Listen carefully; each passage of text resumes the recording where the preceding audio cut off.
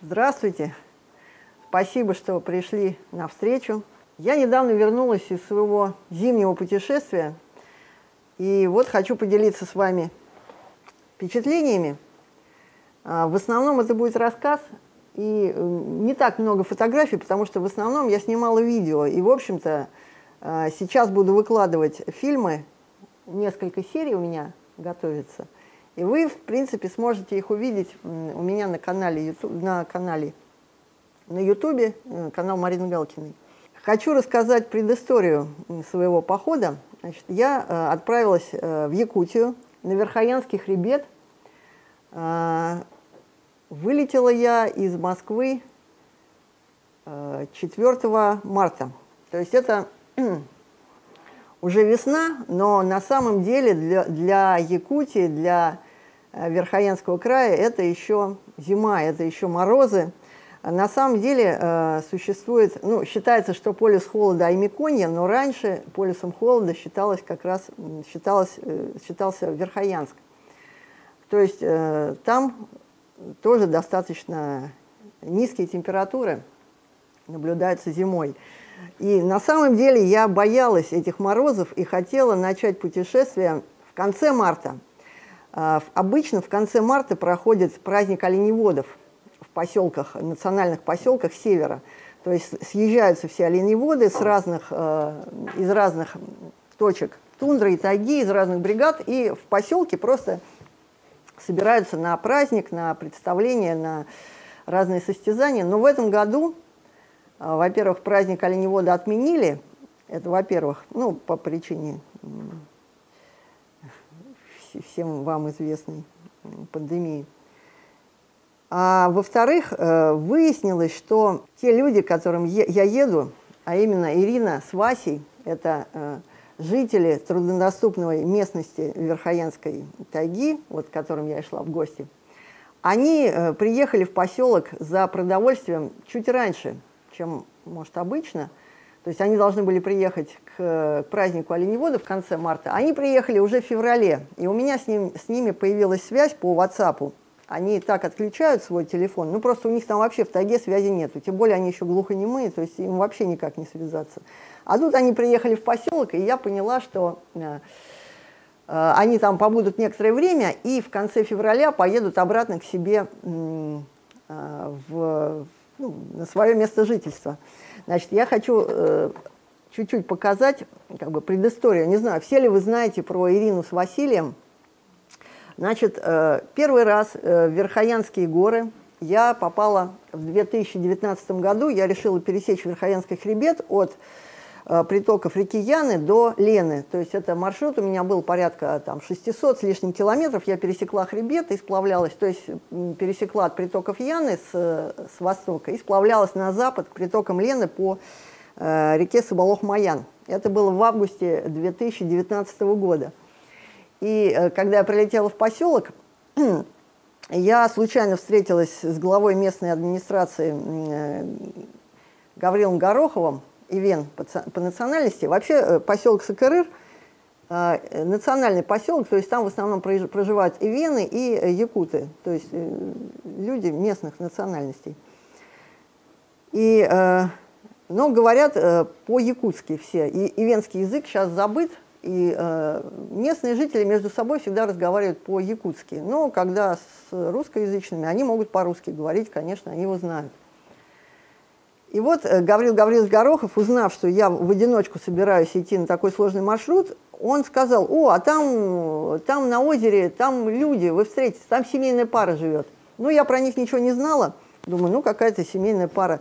Так вот, оказалось, э, когда пришла на озеро, а, озеро Дейбалах называется. Ну, это Верхоянский хребет, это хребет, который э, протянулся на ну, почти тысячу, может быть, чуть меньше километров, если вот так вот смотреть, э, за Леной он простирается. То есть все вы представляете Уральские горы, а следующие, если на восток смотреть, такие грандиозные горы, это Верхоянские горы. Они так же, как Урал, протянуты с, с юга на север, но чуть-чуть пошире и чуть-чуть повыше. То есть там высоты ну, 1700, ну нет, где-то так, 2500, 2600, вот так вот. И э, вот в самом сердце этих гор, на, практически недалеко от, водораздельных, от водораздельного хребта Рулган, там есть озера дикие. И вот на, на одном из этих озер, озеро Дейбалах, я встретила вот э, семейную пару Ирина с Василием. Очень интересная история, потому что Ирина, она по национальности, она русская, она из Тулы. А э, Василий, он наполовину ивен, наполовину якут, ну, местный человек. И они оба глухонемые. Они познакомились в Туле, когда Василий туда приехал учиться в институт, ну, не в, в институт, в техникум. И они там с Ириной познакомились случайно. А еще рядом с ними, вот на этом озере, живет э, Федор, удивительный человек, он, он и вен, э, живет, э, ну, вот он практически отшельником там живет. Если Ирина с Василием еще иногда приезжают, вот они раз в два года приезжают в Тулу к родственницам, к родственникам Ирины, то вот Федор, он живет там вообще постоянно, безвылазно, и только иногда у него нет просто бурана, он иногда может э, в поселок вот на своем коне, вот этом конь-огонь у него, приехать.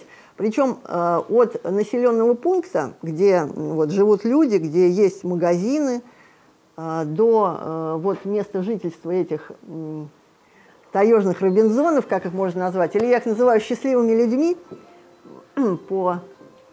Э, не знаю, смотрели ли вы э, фильм Васюкова, Дмитрия Васюкова «Счастливые люди». Он э, рассказывал про людей э, с, с Енисея, охотников, которые живут вдали от цивилизации, добывают себе пропитание охотой, охотой добывают и деньги. Ну, то есть люди, которые живут вдали от цивилизации, которые не смотрят телевизор, не, не, не ездят на метро, не ходят в магазины. Вот он их назвал счастливыми людьми, и вот такое такое словосочетание стало нарицательным. И вот этих людей я тоже называю счастливыми людьми, потому что они живут вдали от цивилизации, и как бы у них нету связи с городом, со стрессом, который мы так или иначе, живя в городе, получаем. Они живут оторванно, наедине с природой, и поэтому они, можно сказать, счастливы. Так вот, и э, рядом с Ириной с Василием живет Федор. В двух с половиной километрах от них. У него есть рация, но сейчас она сломалась. Еще когда я была, она была сломана. Старая советская рация. И только через, ну, с помощью этой рации он может связываться с другими бригадами оленеводческими, ну, с другими людьми, которые где-то в этом районе тоже кочуют, люди, и он с ними может связываться. Вот э, очень интересно, что Э, до поселка Сакырыр или Батагай-Лыта можно долететь на самолете ну, за сутки из Москвы, грубо говоря. То есть там 8 часов, 6 часов до Якутска, и потом еще 3 часа, и ты уже в поселке Сакырыр. И от поселка Сакырыр 190 километров через горы, и э, ты можешь оказаться вот в гостях у этих счастливых людей. Но вот эти 190 километров не преодолеть за день, как вот но есть только на вертолете. Но там нет ни рейсового вертолета, понятное дело, к ним никто не летает. А просто есть зимняя, зимняя дорога зимой, просто снег засыпает э, тайгу, э, мороз сковывает реки, и образуется как бы санный путь, куда можно, э, по которому можно на Буране проехать, а летом э, вот чтобы попасть к этим счастливым людям, ну вот Федор на своем коне ездит – несколько дней с остановками по пути в оленеводческих бригадах, которые попадаются. А, ну, либо пешком, либо как-то где-то пешком, где-то сплавиться на лодке. То есть это очень труднодоступное место, реально труднодоступное. Вот. И когда я с ними познакомилась, с Ириной, с Василием, а, то настолько мы с ними как бы подружились, и я, вот они мне свою фотографию со свадьбы, вот у них 34 э, годовщина свадьбы была буквально вот сейчас, 16 апреля. И они живут вот в этой тайге 30 лет, вот в этом месте. То есть сначала они пожили немножко в Туле, потом они пожили э, два или три года в поселке Джергалах, это, ну, это тоже тот же район, Ивено-Батантайский, Якутии. А потом Вася привез Ирину вот на это замечательное место в тайге, где вот эти вот необитаемые озера. И ей там так понравилось, Ирине, что они там остались жить. э, постоянно. То есть там построили избушки, а Ирина, она художница. Она рисует, закончила художественное училище. Вот. А Вася, он работал оленеводом, а потом вот окончил э, ПТУ по специальности слесарь. И он сам, он такой рукодельщик, делает нарты, там, э, выделывают они шкуры. Он Ирину все это научил делать. То есть вот она простая такая жительница средней полосы России, можно сказать, а стала такой заправской кочевой жительницей Заполярья. И вот, побывав у этих людей летом, мне, у меня возникла такая мечта посетить их зимой. И еще я никогда не, вернее, один раз только попадала в такие сильные морозы зимние э, в походе, и мне захотелось пройти туда в одиночку, пешком, э, не пешком, конечно, на лыжах по э, вот этой зимней дороге, так называемой, по буранной трассе. Ну, как трассе, вот туда проехали Ирина с Василием на, на своих снегоходах. И Ирина и Василий, они э, водят снегоходы, бураны, потому что иначе туда никак. Вот, Ирина очень хороший водитель, такой заправский, она буран ведет. Причем это же не просто буран, им же надо вести с собой продовольствие, то есть у них там прицепы, э, два прицепа из саней, все это загружено Э, продовольствием они загружаются сразу на год вперед, потому что только э, вот в марте, в феврале, марте, в апреле можно приехать в поселок. Ну и вот, узнав, что Ирина с Василием приехали в поселок и потом уезжают обратно, и будет буранный след, я решила прилететь э, в начале марта в поселок Сакарыр и оттуда пойти вот эти 190 километров, ну там около 200, пройти на лыжах к ним в гости. Ну, надо сказать, что а, они у меня тоже были, э, Ирина с Василием, в гостях в Москве, и мне э, Вася, он нарисовал примерно путь по карте и показал, где есть избушки, ну так, на всякий случай, чтобы все-таки в одиночку идти в такой мороз тяжело. Так что у меня был как бы... Я знала, по, по какому пути идти, плюс был буранный след, то есть, в принципе, все это было не страшно. И вот я прилетаю, да, 6 я прилетела поселок Сакырыр. И э, когда вышла в аэропорту, вышла из самолета, то буквально вот там несколько минут, и я почувствовала, насколько там холодно. Как сказали мне местные жители, в этом году была очень холодная зима, и морозы очень долго стояли. Ну, то есть в марте там уже, конечно, теплеет, но когда я прилетела, было минус 50, ночью минус 50. Я подумала, ну ничего, это ночью, днем будет нормально. Меня поселили в гостинице, и вот я помню, я утром просыпаюсь, и я очень долго не могла заснуть, потому что, ну, вот этот вот мороз, я так его ощутила сразу, что поняла, что поход будет достаточно суровый. И э, утром, когда я вышла, просто вышла вот во двор и решила пройти по поселку, ну, настолько перехватывало дыхание, я надела на себя все, что у меня было – а у меня было с собой там две куртки, ну, все снаряжение, в принципе, вот э, я потом в конце покажу, которое у меня было. Я решила пользоваться не каким-то там дорогостоящим снаряжением, у меня было все самое такое простое, либо самодельное, либо вот, э, можно сказать, отечественное от компании «Сплав». То есть э, у меня куртка пуховая была не очень такая, прям супер теплая, но у меня была просто еще вторая куртка. Плюс я же думала, я буду в движении – но вот когда я вышла в поселок, и весь этот холод пробрался через все эти куртки, я все на себя надела, и все это пробралось ко мне внутрь. И главное дышать. Там, там воздух какой-то. Ну да, я была на морозах, но может быть там еще кислорода меньше. Ну как-то там трудно было дышать. вот. И э, на маршрут я вышла через два дня, только 8 марта. Чуть-чуть спали морозы, но все равно. Э, Плюсом того, что э, такие еще морозы, сохранились, э, сохранился на деревьях вот этот покров снежный, то есть деревья были облеплены, э, все облеплены снегом. Это очень красиво, когда идешь. А когда наступает весна, перелом погоды, то весь снег опадает с деревьев. И вот это я на пути как раз этот переход погоды от зимы к весне – можно сказать, поймала. И я очень рада, что мне удалось увидеть э, все это все эти горы, всю дорогу, как бы, ну, и в зимнем наряде, и уже в переходе к весне. Но морозы все равно были, э, несмотря на весну. Ну, выходила я, было утром где-то 30, около 30 градусов, и когда идешь, очень меняется ощущение холода, выходишь на горку, там, там вроде холоднее бывает, чуть спуска... или наоборот спускаешься, теплее. Все время надо контролировать, э, ну как бы, ощущение холода, не давать себе вспотеть, дышать все время через нос. В общем, самым сложным, наверное, было то, чтобы ну, не охладиться, э, все время держать себя под, под контролем, потому что, ну, когда чуть разгоняешься на лыжах, хочется дышать там горлом. Я же привыкла бегать, я вообще ну, спортсменкой на лыжах быстро и много бегаю.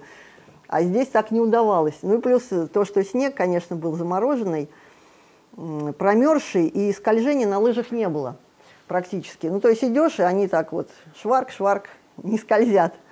Да, в это, в это путешествие я решила на свой страх и риск, можно сказать, э, идти не на широких лыжах, а на узких беговых. Почему? А, ну, посмотрев фотографии, я поняла, что там не очень много снега, в принципе, и мне будет не страшна даже тропешка. Плюс я же рассчитывала на буранный след, вот, а буран, по буранному следу можно идти на узких беговых лыжах. И, в общем-то, я считаю, что я не прогадала, потому что узкие лыжи, они легкие. И так как действительно практически везде был буранный след, все было нормально. Единственное, на наледях, конечно, тяжело, ну, практически невозможно. На наледях мне приходилось снимать лыжи, и я просто шла пешком. Да, очень меня, конечно, хорошо встречали местные жители. Настолько тепло и просто, просто удивительно. И э, мне очень они помогали.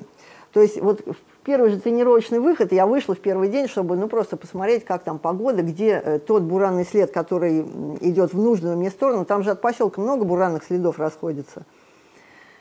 И в первый же день меня догнал э, снегоход, и там местные жители ехали на сбор трав. Меня очень удивило, что они зимой, зимой тоже собирают травы для чая, лекарственные растения – вот. И э, местный житель Михаил Колесов, он мне, ну, позже он пришел и по всему моему маршруту рассказал, где какие сложности.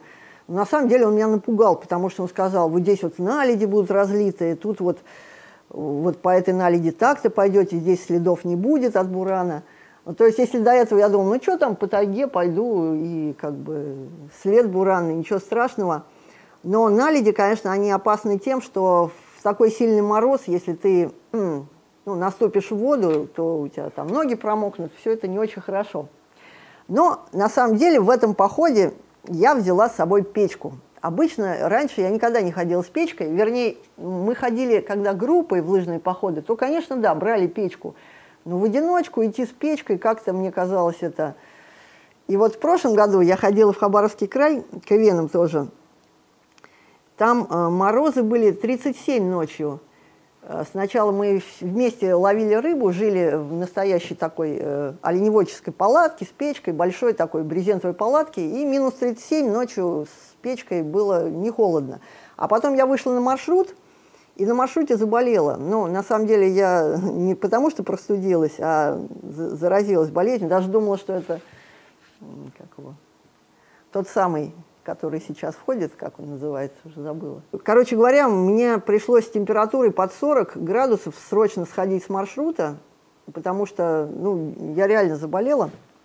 И вот э, весь год после этого похода прошлогоднего у меня был такой подсознательный страх, как же, как же мне теперь ходить зимой, а если я заболею, что же это такое? Просто я тогда ну, с, с трудом вернулась, 20 километров мне пришлось идти. Э, как бы с такой температурой, и даже мне пришлось на полпути бросить рюкзак, потому что ну, реально было тяжело, и я почти налегке вышла к людям.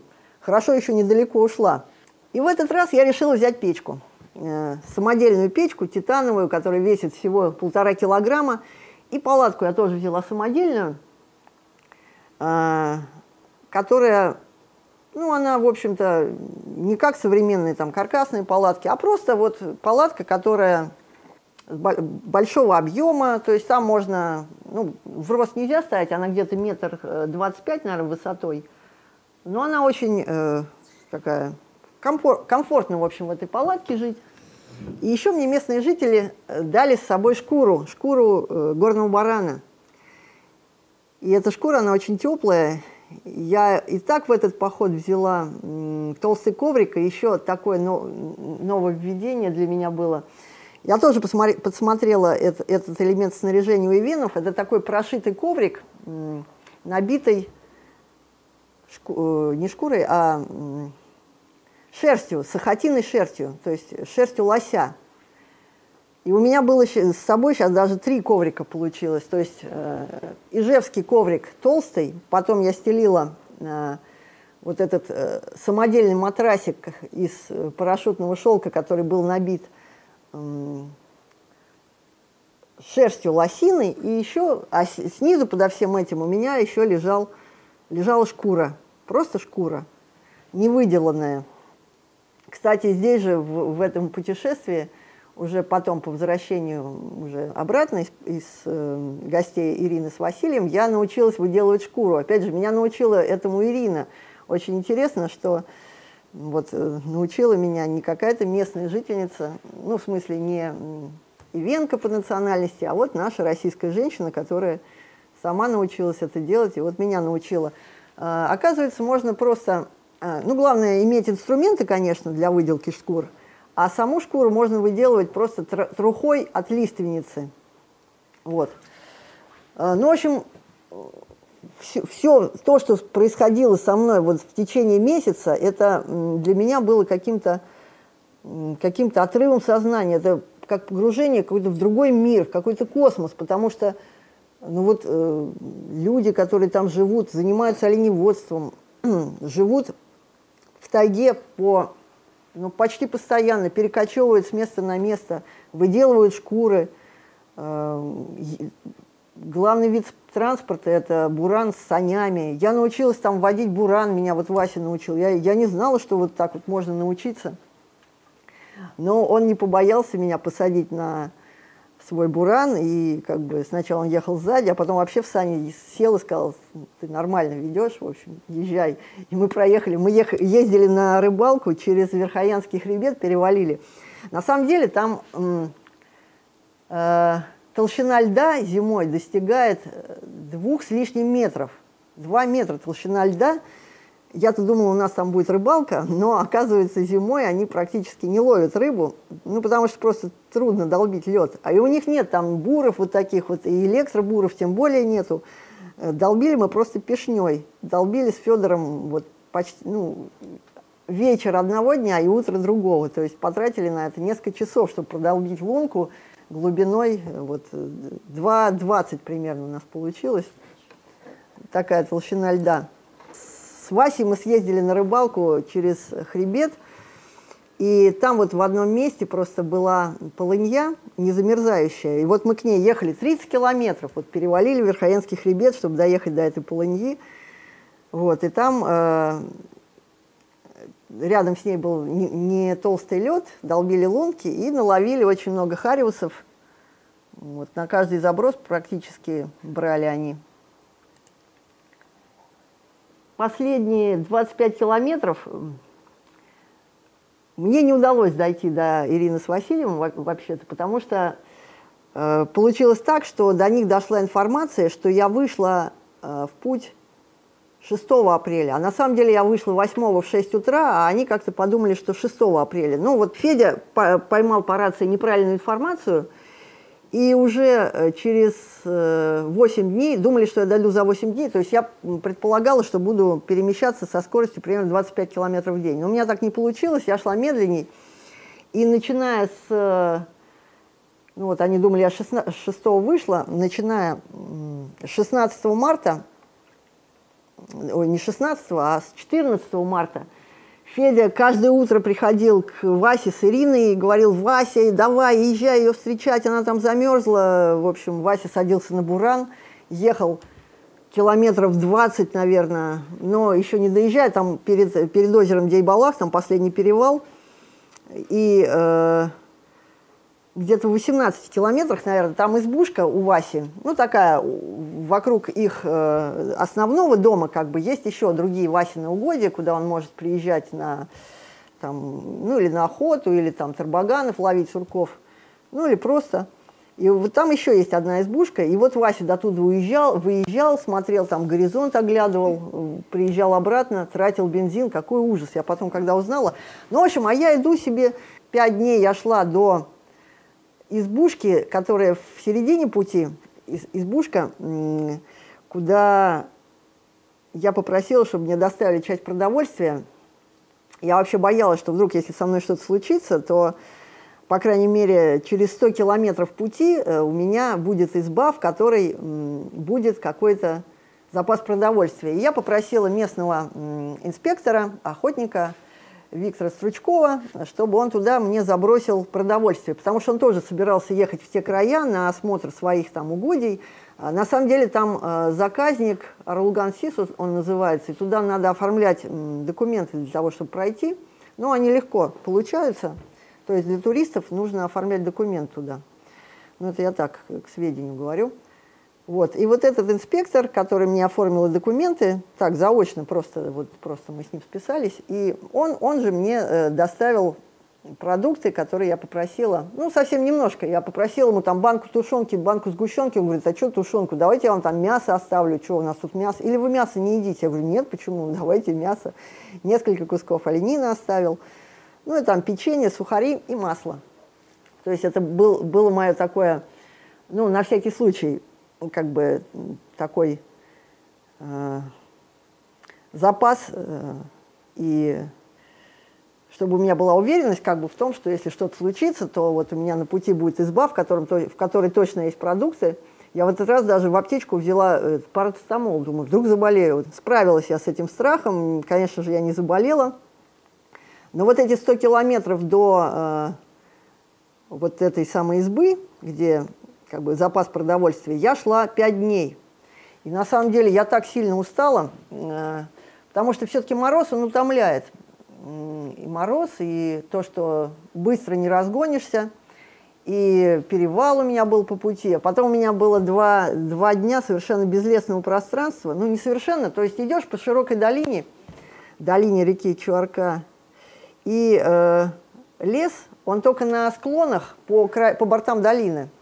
Непонятно, как лагерь делать. Я, в общем-то, э, печку, э, и палатку, и печку готовила для таежной зоны, а у меня два дня пути оказалось по, ну, в общем-то, по открытой, безлесной практически такому пространству, по тундровому. И э, я поняла еще, что колышки там с трудом забиваются. Обычно в зимних походах очень легко. Ну, много снега, ты стыкаешь кол в снег, и все, у тебя палатка растянута. А тут снега мало, даже коли на, нарубишь, начинаешь их вбивать, земля мерзлая, вообще не вбивается. Ну и под вечер уже так утомляешься, конечно, что пока ты все сделаешь, пока палатку растянешь, печку поставишь, э, дров еще надо найти, потом нарубить. Ну, в общем, конечно, утомительно. Э, и поэтому вот я шла медленней. И когда я дошла до вот этой избы, которая у меня была на пути, то э, я целый день там просто отдыхала, никуда не ходила э, и просто наслаждалась жизнью. Это было такое счастье, просто находиться в избе, варить мясо неторопливо, выходить во двор, смотреть то на солнце и там лиственницы, то на звезды ночью – то есть один день я просто провела, никуда не идя, и получила огромное удовольствие. Очень интересно, что по пути э, Ирина э, переживала за то, как я пойду, и на пути, а там же все-таки буранный след, где-то более засыпан, где-то меньше, где-то были какие-то развилки. И э, на самом деле путь был не тот, который мне Вася рисовал в Москве, они поехали другим путем немножко – и вот я подхожу к развилке, и ну, по карте я, в общем-то, я же ориентируюсь, умею ориентироваться, и смотрю, я понимаю, что вроде это еще не моя развилка. Мне не надо сюда сворачивать. А, ну, думаю, а, а может быть надо. И тут смотрю на, на снегу какие-то следы. Думаю, ну, наверное, они здесь останавливались, просто топтались, устали сидеть в нарах, в нартах, на буране вести. И просто разминались. Потом смотрю, нет, это буквы на снегу. Начинаю читать. С, а, тод, сатод. Думаю, что такое сатод? И стрелка. Сатот. Наверное, ну, Ирина, ну, она же ну, глухонемая, она может плохо написать, не так. Наверное, сюда она написала, это сюда, а не Сатот. Все, пойду прямо. Потом думаю, нет, дай-ка посмотрю на вторую развилок, а там что? А там смотрю стрелка, и там написано Ира. Думаю, ну вот, точно сюда. Что ж такое Сатот? Потом понимаю, это стадо. Ну, Ира, она просто меня, может менять буквы.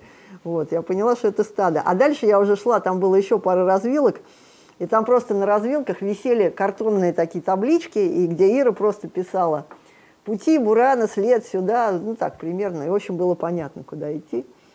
Вот, то есть она так подспудно обо мне заботилась. Вот, и э, вот в 25 километрах, не доходя до Ирины с Василием, а я уже все так хорошо иду, уже вжилась во всю эту атмосферу и путешествия. У меня была только вот эта одна изба в самом начале – то есть у меня две ночевки было в избе в самом начале, в 30 километрах от поселка, и вот в, этом, в этой избе на Такуре, где мне были оставлены продукты. А все остальные ночевки у меня были в палатке с печкой. И я уже, мне так нравилось палатки в моей, я уже так сжилась с природой, все хорошо, уже к морозам привыкла. И уже некоторые, некоторые ночи были и потеплее, и, и ветер уже был, и деревья уже осыпались, и чего только не было. И тут э, я понимаю, что уже я иду даже быстрее, и мне впереди предстоит перевал, и я прям радуюсь, что мне надо еще идти, впереди еще будет избушка, как раз вот это в 18 километрах от Ирины с Василием. И тут я слышу, слышу след, звук э, бурана. Ну, я, как всегда, достаю камеру первым делом, значит, снимаю издалека, думаю, наверное, это Виктор Стручков едет – ну, вот этот инспектор по своим делам, а он еще так едет, раз и мимо меня проезжает. Думаю, ну, подумаешь, он, наверное, ему некогда по своим делам. Там даже так, так нельзя представить, ну как там люди мимо ни, никогда в жизни проехать не могут. А это был Вася, но я его просто не узнала, а он проехал чуть мимо, просто чтобы развернуться. Ну, тут-то я его уже увидела, а у меня рука как раз в этот момент замерзла, потому что я перчатку не успела. Я перекусывала, не успела перчатку надеть. И, ну, так как едут люди, это же интересно, я снимаю голой рукой. А там, ну, несколько секунд, и уже рука начинает отмерзать. Вот. А тут Вася, и я его снимаю, и он, он ко мне подбегает, у него лицо не свое, он меня в охапку хватает. Он думает, что я замерзла, он хватает мою руку, она холодная, ему кажется, что все, я замерзла. Он на меня без разговоров, он просто, он меня сжал с такой силой от радости, что чуть кости мне не сломал. Вот, дает мне, значит, свои штаны теплые, куртку, ну, еще одни. Просто на буране, в, санях э, за бураном ездить э, в ходовой одежде, даже если у тебя там две куртки, это невозможно, там все продувает. В общем, он на меня надевает эту теплую штаны, теплую куртку. Ну вот как так, как вот человеку объяснить, что я хочу дойти сама? То есть тут такого даже вот ну никак не рассматривалось. То есть я поняла, что последние километры я поеду в ужасных санях за бураном. Это самое страшное для меня ездить в санях, потому что ну, если они, конечно, не подготовлены специально, потому что, ну, все кости там протрясаются на кочках особенно, то есть ездить на санях за бураном это развлечение такое еще э, ну, а, особенное. Там надо открениваться, все такое, амортизировать. Когда мы с Васей потом ездили, он там хоть делал какой-то, ну, из поролона там делается такое, э, ну, кладется что-то, чтобы амортизировало. Ну, в общем, посадочное место готовится. А тут, так как здесь просто как бы эвакуация спасения человека, тут ничего не было, меня просто на эти сани бросили, и я поехала. Вот. Так что вот не, да, не дали мне дойти до конца, но вот э, где-то 175, ну 170, не знаю, километров я прошла. По наледям было интересно идти. Э, не знаю, может быть, мне повезло, может быть, э, просто я как-то выбирала дорогу, но удалось пройти, не замочив ноги и гулкий лед, где был, я обходила. Там же, когда идешь по наледи, надо проверять, чтобы не провалиться, потому что там бывают разломы, ну, как бы лед э, намерз и очень тонкий, а внутри может быть провал. Но это обычно, вернее, не обычно, а скорее можно провалиться, если ты едешь на буране. Э, человеку под рюкзаком, конечно, меньше, гораздо меньшая вероятность, но тоже есть. И вот я этого боялась. Вот. Но я свято там исполняла все как бы, местные обычаи, обряды. То есть я кормила духов э, хлебом, ну, тем, что было, печку. Э, там и вены, они обязательно, вот на каждой стоянке, когда разводят огонь э, или печку, обязательно кормят духов. Я тоже старалась это делать.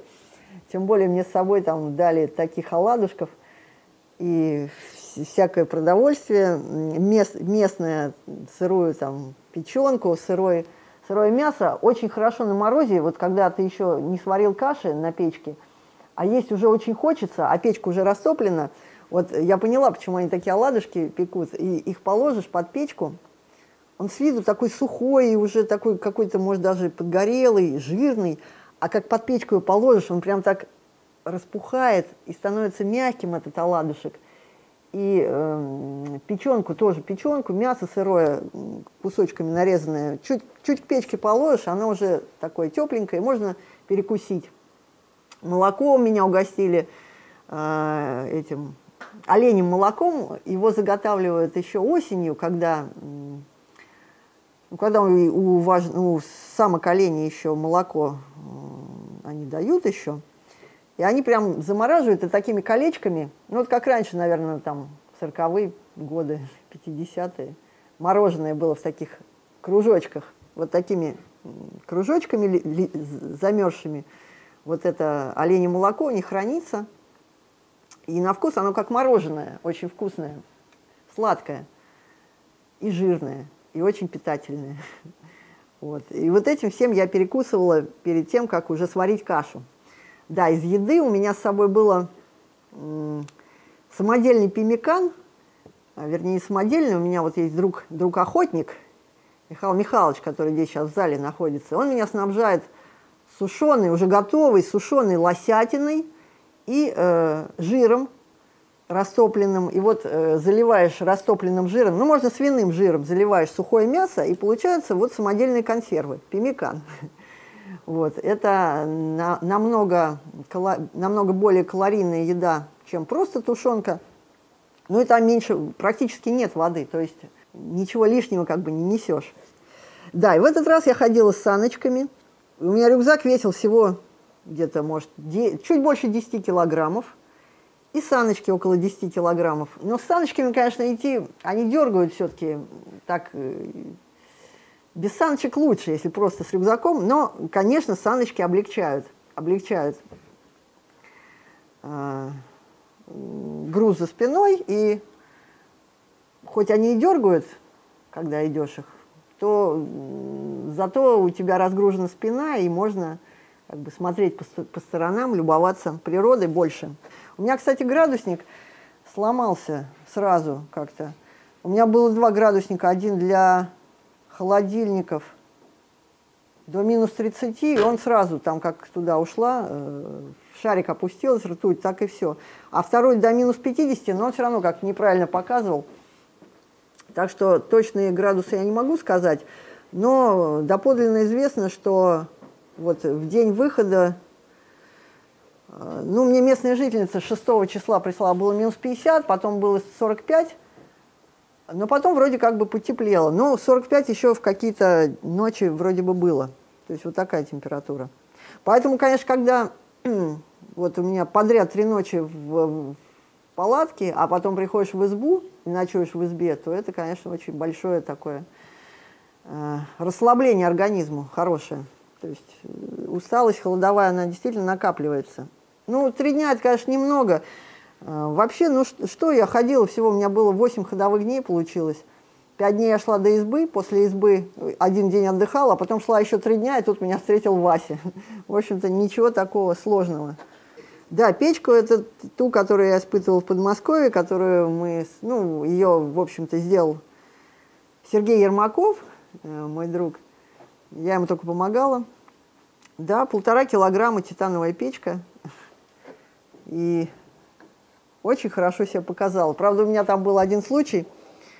Э, на третий день пути Я уже думаю, ну все, я хорошо ставлю печку, я уже кругляшки под э, подножки, чтобы она не проваливалась, заготовила из, из, из э, поленьев. И просто даже их с собой возила, потому что каждый раз устанавливать печку, э, ну, не так быстро она устанавливается, чтобы все было крепко и надежно. И вот я устанавливаю печку, наготовила дров из моей любимой ивы, там вот лиственница и ива есть. Растапливаю, и обратная тяга. То есть я нахожусь в палатке, и начинает дым выходить из, э, из печки внутрь палатки.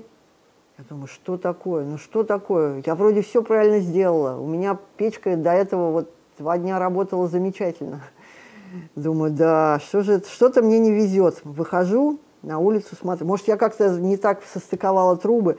Смотрю, там из всех щелей валит дым, а из основной почти не валит. Думаю, ну что-то не так. Может быть, дрова не те, может быть...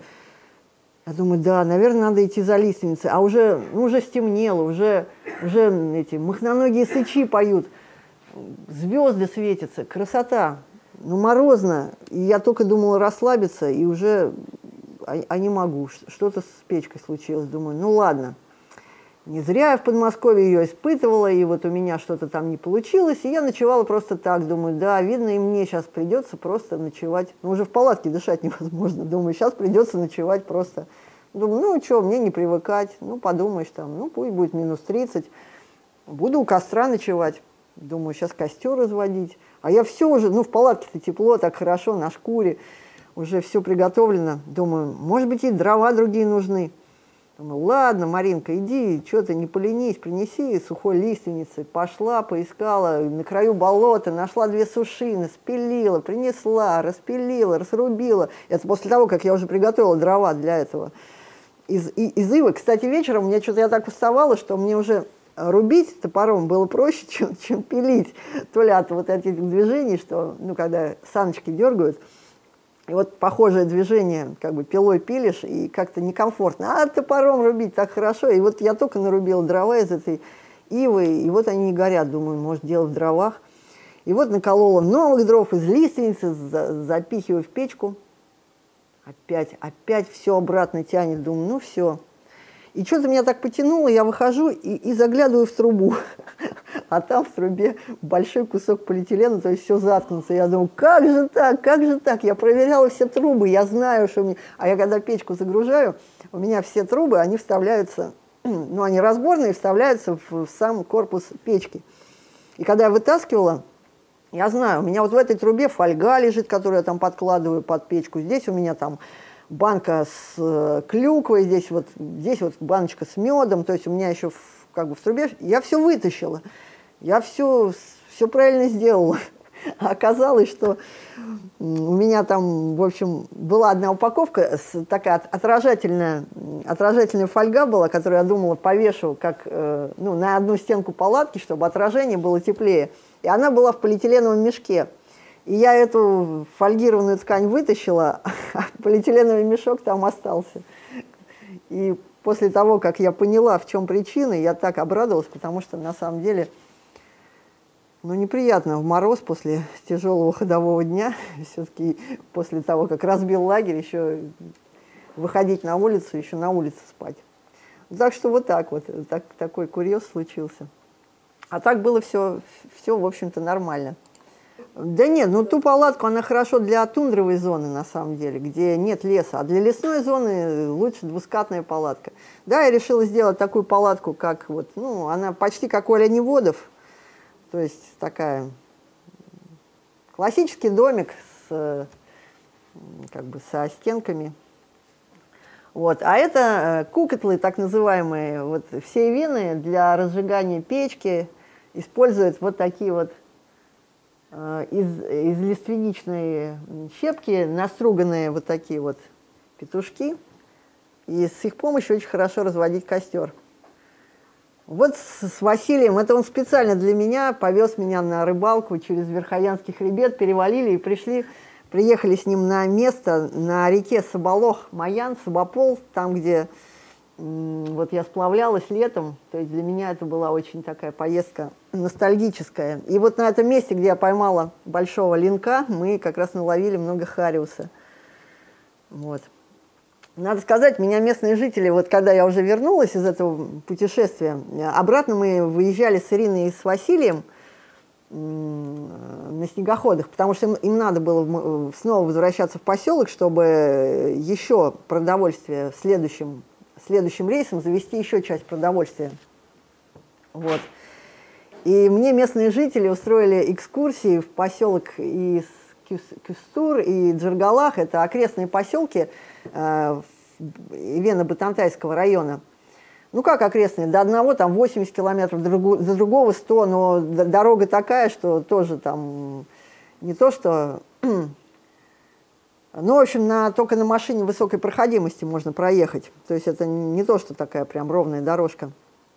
И вот э, 9 человек поехали со мной на рыбалку в поселок Джергалах. Мы э, ехали туда, сложно добирались. У нас там по, по пути глохла машина. Мы приехали на реку, мы зашли в избу, растопили печку, там, пошли делать кучу лунок – и поймали всего одного хариуса. Но это было такое вот, э, как, ну, такое действие, такое, для местных жителей это было, я еще говорю, ну, как же так, вы вот меня везете, столько времени тратите, что мы поймали тут одного хариуса? Они говорят, вы что, это у нас первая рыбалка в этом году, мы так рады, что мы поехали. То есть вот там, как бы в низовьях, э, недалеко от поселков, там, ну, так вот много рыбы, как вот здесь, все-таки не поймать. А с Федором мы решили продолбить лунку. И Федя вот очень хотел, чтобы я поймала большого гольца. И вот мы продолбили эту лунку, которая глубиной 2 метра 20 сантиметров примерно. Ну, там и 2,40 бывает лед. Причем там же не было буры, мы там сначала это топором, потом, вернее, сначала бензопилой, потом топором, потом по очереди долбили пешней, долбили, оттуда выковыривали этот лед. Но поймали большого гольца или нет, не скажу. Это вот фильм смотрите, там будет. Вот. Но вот мы обратно возвращались уже с Ириной, с Василием э, на санях, вернее, не на санях, а с санями, санями, с прицепом, для того, чтобы они на обратном пути э, к себе домой привезли продукты и топливо. Вот э, на год они запасаются где-то там 10 мешков муки по 25 килограммов, там, 250 килограмм муки, там, сахара, пара мешков там, по 50 килограммов. То есть вот они в магазин, можно сказать, вот два раза в год там ходят. И то э, лучше запасать продовольствие из Якутска по зимнику, э, заказывают доставку а, ну, из оптового магазина продовольственного. То есть вот такая счастливая жизнь, не надо вот все время в магазины ходить. Ну а так Василий, конечно, там охотится, а, там и веном, ну местным жителям там можно, ну у них чуть больше можно им охотиться, чем вот, простым людям, которые туда, если на охоту приезжают. Там ограничения, конечно. На бочках, там вот в этом домике у Ирины с Василием склад продуктов, чтобы туда не, добирались хищные звери.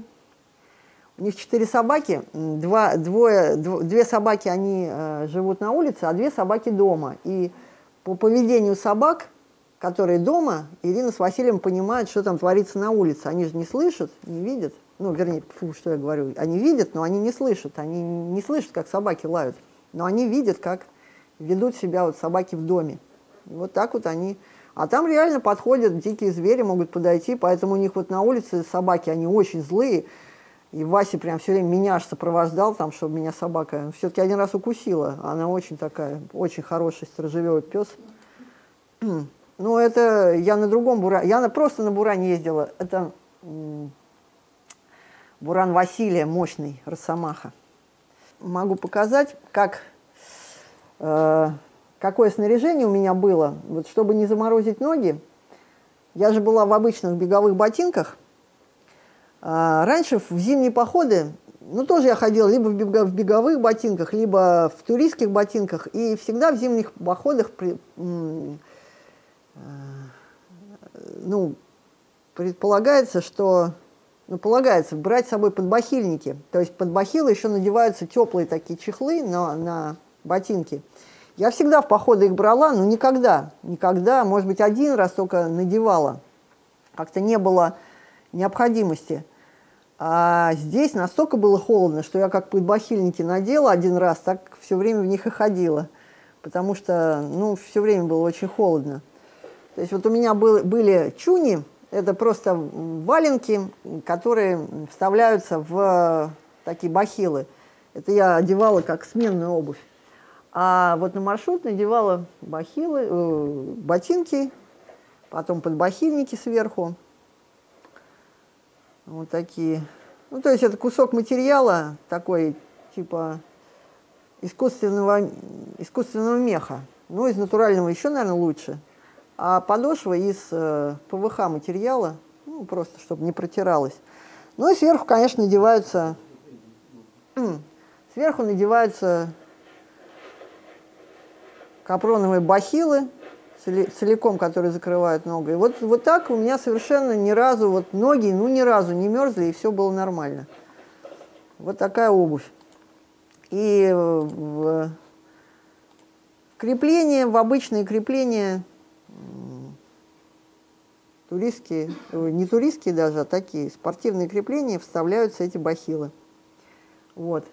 Что касается снаряжения, значит, у меня с собой было э, два пуховых спальника, ой, вернее, что я говорю, один пуховый спальник, один, один такой прямолофта, если коротко. Пуховый спальник, который весит полтора килограмма, один, а второй ну вот он где-то кило 300 из, синтет, из синтетики, примолофт. То есть я обычно стелила на коврик э, э, синтетический рюкзак, а сверху э, пуховый. И сна... первую, первую половину ночи я даже просто в одном пуховом спальнике э, спала, и было тепло. Ходовые штаны, э, костюм Глетчер, ну правда у меня черные были, ну, просто вот такие удобные на, на ноге. Ну, в них хорошо ногу загибать. Они чуть-чуть утеплены. Надевала их просто на флисовые штаны. И вот ходовая куртка Глечер, она с таким мехом небольшим. Но на самом деле в такой куртке где-то, ну, может быть, до, до минус 20 нормально. А потом я как-то ней отпотевала. И чаще я даже ходила сверху в куртке из прямолофта. А мне очень нравится на самом деле эта куртка. Я в ней на ребро сходила. Раньше вот здесь был недостаток, молния все время как заедала, но сейчас вот другие, я смотрю, стали делать бегунки. Сейчас она более качественная стала. Ну, обязательно с капюшоном, конечно.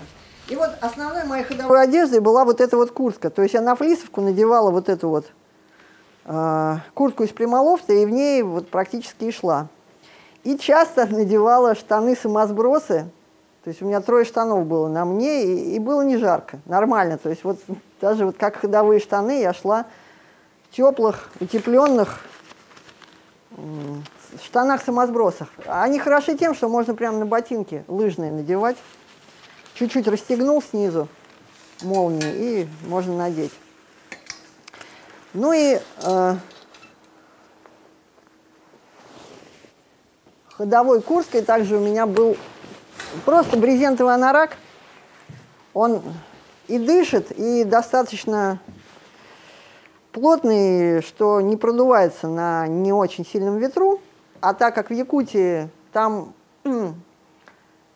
не сильно влажный воздух, и, э, и в марте, и в апреле там редко осадки. То есть, э, как бы, Капроновый анорак хорошо, когда снегопад, а так вот в таком анараке, ну, мне нравится, скажем так.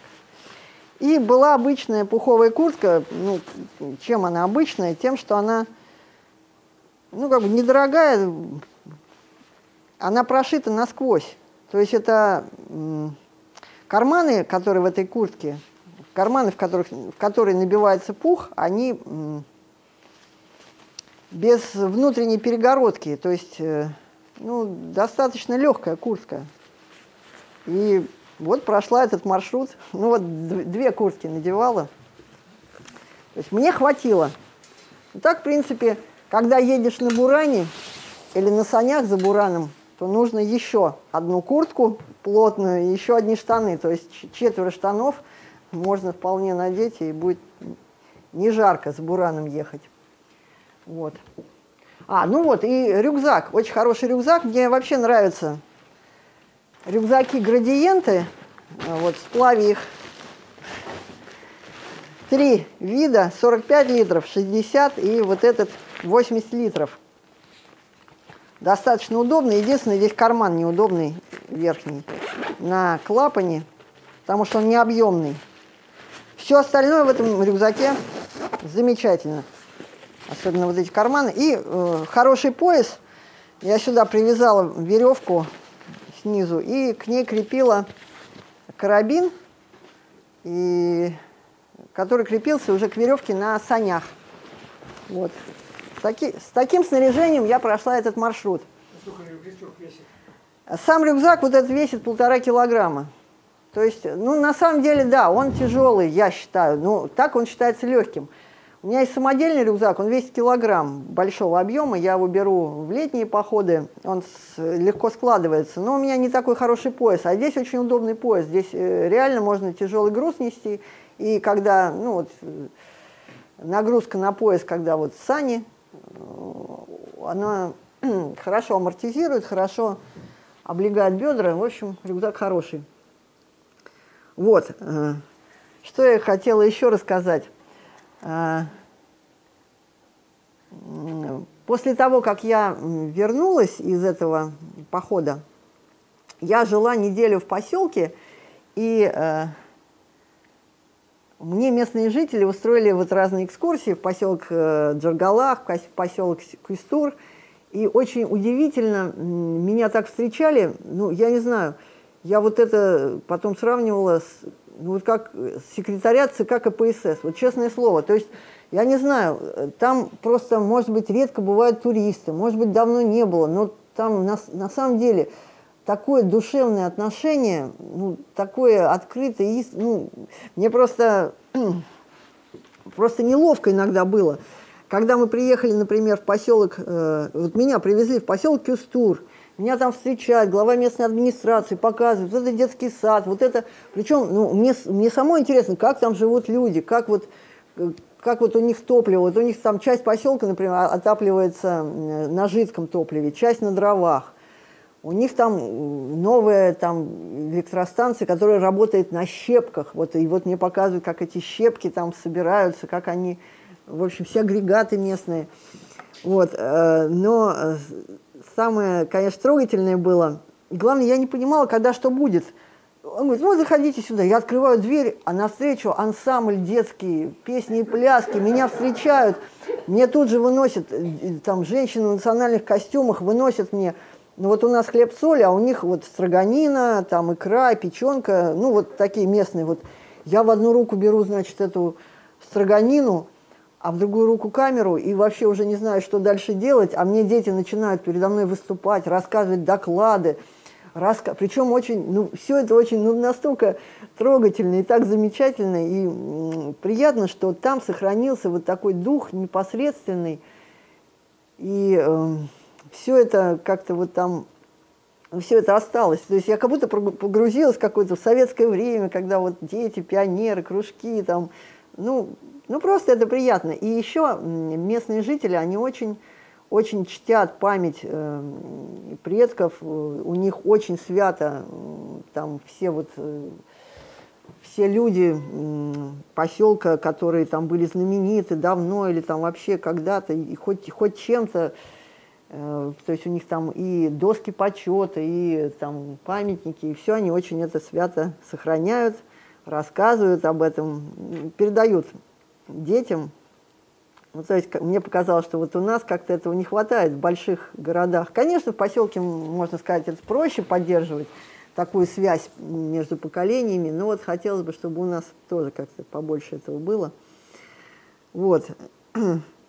И в поселке, в поселке Кустур, куда, мне, куда меня привезли, там сохранилась ферма, 35 лет вот после развала Советского Союза они сохранили ее в том виде, в котором она была, то есть они сохранили местную породу коров, которая вот длинношерстная, и, и там доярка, которая 35 лет, они до сих пор доят руками, ручная дойка, там нету так, агрокомплекса всякого, то, что сейчас у нас, и поэтому у них там и молоко вкусное, и как бы и люди такие, они общаются с коровами, с живностью. Коровы у них на водопой сами ходят, они придумали очень интересно. Там же, ну, там же все замерзает очень быстро. Так они э, проделали, и лед видели какой там тол толстый, да? Вот так они проделали, э, прорубили такую, ну, четырехугольную как бы яму, туда поставили печку внутрь этого льда, вот, ее подтапливает, и там с двух сторон от этой печки, причем дальше огородки, чтобы коровы не провалились, и там вот сохраняется эта вода, и каждое утро, там, в 10 утра коровы бегут на водопой, пьют там, потом бегут обратно в свой коровник. А коровник еще вот, ну, такой сама, ну, то есть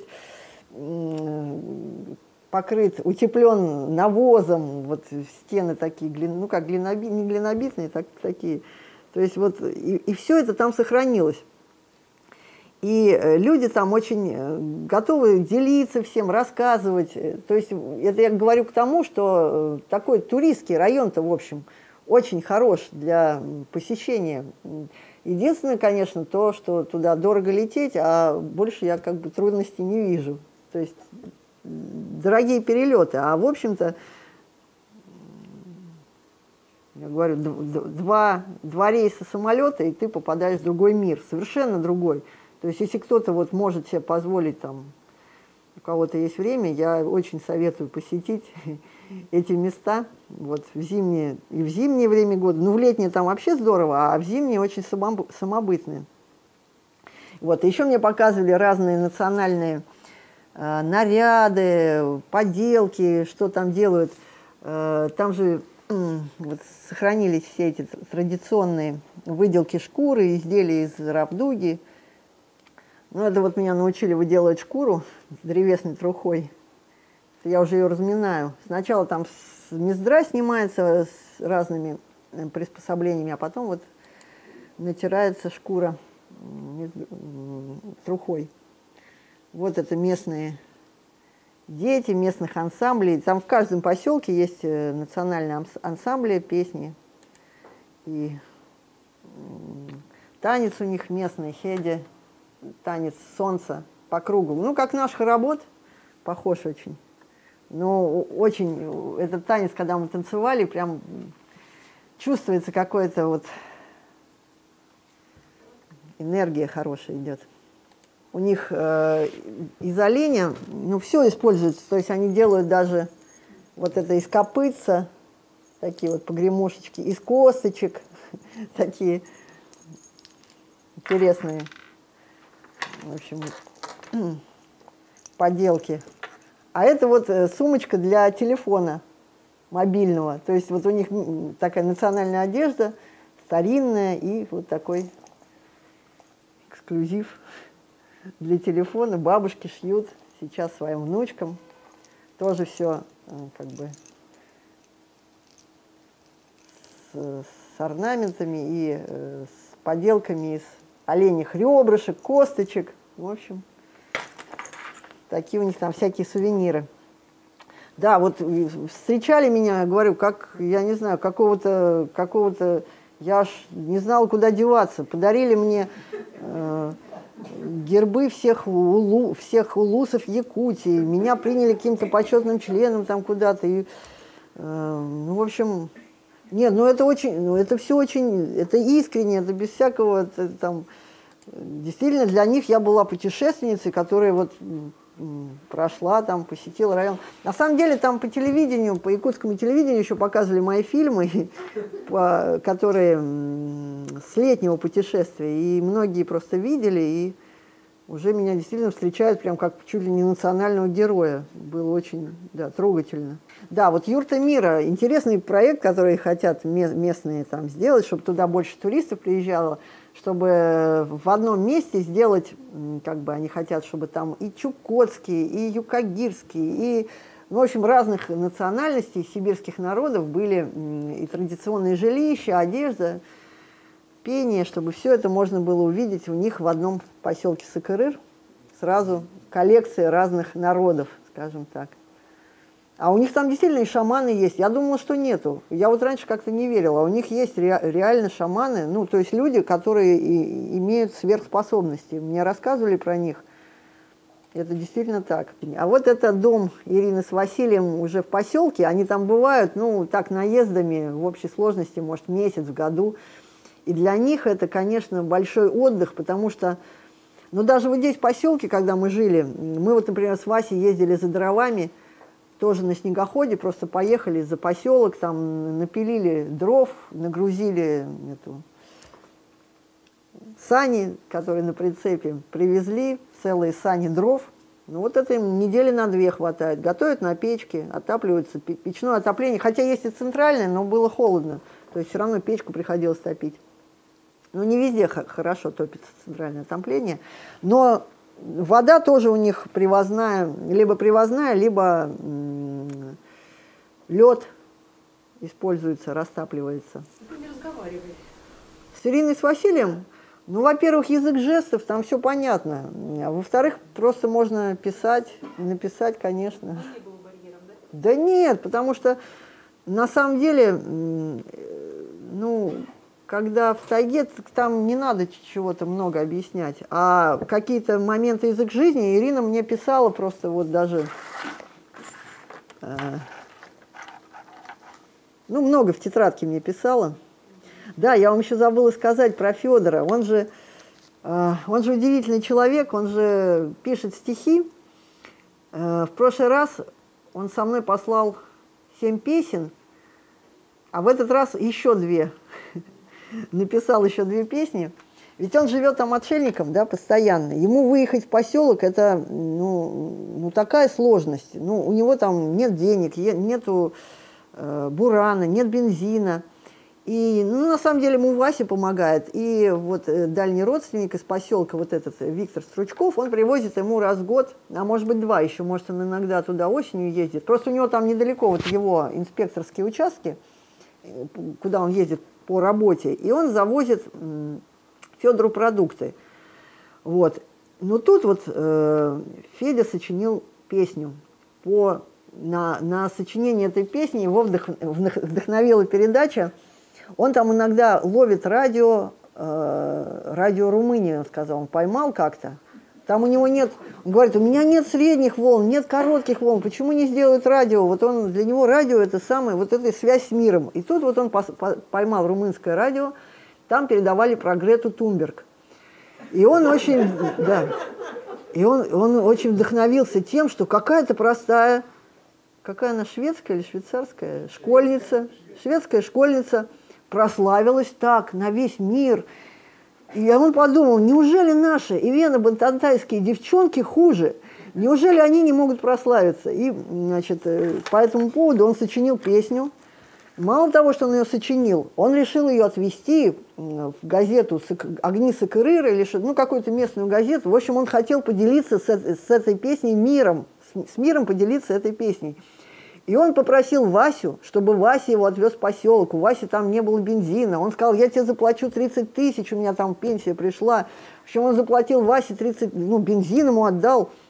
И Вася его отвез в поселок. Он в поселке принес эту песню в местный клуб, и там даже ее спели. В общем, вот он раз в два года он выехал в поселок ради того, чтобы привезти эту песню. Вы представляете, какой человек? Это просто фантастика.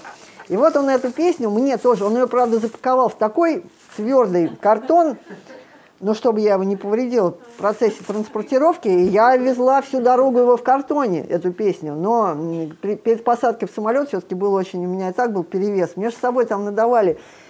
Э, Вася вообще простой. Он говорит, на, возьми, дает мне, и ногу лося мне приносит. Я говорю, Вася, да ты что? Говорит, ну, давай распилим. Ну, распилили. То есть там все просто. Вот. И вот он вот написал, опять же, таким, таким почерком, ну просто... Он написал, да, он по-русски. Федя, он э, учился Он с четырех лет, он в детдоме. И вообще он русский даже лучше знает, потому что он воспитывал, он же детдомовский. И он, когда вернулся из детдома в тайгу, он говорит, я так стеснялся, я забыл якутский язык. И он потом снова учил якутский язык, потому что все местные, они же по-якутски разговаривают. И они его дразнили, вот. Федя русский его дразнили. Но он стал этим, он же щупленький, маленький, он стал боксером, он научился. И он потом даже тренировал детей боксу. И сам достиг неплохих успехов. Еще у него, я в том фильме сказал неправильно, у него 71 прыжок с парашюта, он прыгал на горящую тайгу, же работал пожарным, и у него, по-моему, 23 или 27 лет стаж э, оленевода. То есть он очень в своей жизни много где был и повидал. Вот я могу вам прочитать эту песню. Девчонка Свена, да, вот он так написал. Вдохновение к песне девчонки Савена Батантая пришло, послушав радиопередачу Румынии. Там говорилось, что Грета Тунберг стала человеком года на радиостанции Румынии. Очень надеюсь, что из нашего Луса кто-нибудь станет человеком года на радиостанции НВК Саха. Желаю всем удачи. Девчонки Савена Батантая. Ходит в школу в 11 класс, дневник у ней с пятерками пестрит, любит петь и танцевать, задачи сложные решать. Молодая, красивая такая девчонка Савена Батантая. Ну, вот такая песня, я ее выложу, конечно. Вот. И вторую песню, я ее еще даже не распаковывала, честно говоря. Марине Галкиной забрось эту песню в интернет. Я знаю, про что эта песня. Это, это я просто ее потом заброшу, вы ее прочитайте, если хотите. На эту песню э, я вдохновила его своим, значит, этим проходом по тайге, по горам. Он ищет героев, он ищет национальных героев, и вот из меня он сделал эту национальную героиню в этой песне. И, ну, если хотите, потом почитайте. Там интернет, значит, э, в поселке Сакырыр есть интернет в виде WhatsApp. То есть по WhatsApp можно с ними общаться, а какое-нибудь там видео посмотреть это нельзя. Так что очень, очень слабенький интернет, WhatsApp. А там у них э, на озере Дибалах, э, я говорю, там только осталась полусломанная э, рация, по которой Федя, когда другие бригады переговариваются, он может поймать, если волну, то он услышит. Сам он не может ничего сказать даже. Вот так, такая у них связь там. Вообще, на самом деле, у меня мечта следующая такая – хочу собрать денег. Я же теперь научилась водить буран. Я же думала, что это сложно. Ну, ну, это сложно, конечно. Сложно, в смысле, ввести, может быть, не сложно, там, притормаживать где-то так и так. Но я там один раз застряла, и, а Вася уже вперед уехал на другом буране. И я поняла, что я одна, этот буран... Ну, Вася понял, через некоторое время вернулся, так смеялся надо мной, просто буран повис в яме между, ну, в канаве в такой, и он прокручивается, они едет. Ну, мы вдвоем этот буран вытащили, а одна я бы не вытащила. И еще там можно завалиться, когда, если по снегу, по целине едешь, там надо откринивать. В общем, очень хочу, чтобы у Феди был буран. Ему на самом деле он нужен. Простой наш советский буран, ну, как наш, российский. Вот. И если удастся, конечно, собрать и купить буран, и Приехать туда на Буране, это, моя вот голубая мечта. Вот. вот я тоже думаю, только я не знаю, я не знаю, когда это лучше делать. С одной стороны, вот сейчас я выпущу фильм, и сейчас объявить, а с другой стороны, туда же только теперь в марте, только через год. Ну, вернее, я думаю, даже лучше в апреле уже будет теплее. Правда, наледи будут опасные, более опасные, но как бы тут зато морозов будет меньше, потому что каждая поездка, вот чем занимаются там счастливые люди?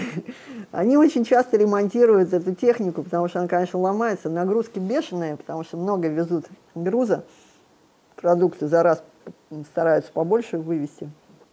А что вы с, со связью, э, когда вы путешествуете вот эти 100 километров? Mm, да, вот когда я шла, сейчас у меня ничего не было. Но на самом деле, э, когда я приехала в поселок, там у них э, произошел какой-то несчастный случай, я об этом не знала просто. Просто э, до этого они говорят, да, приезжайте, пойдете, а тут э, меня встречает глава администрации, дарит мне розу 8 марта, потому что дарит там украшения, говорит, Марина, а, вас, а вы зарегистрировались в МЧС?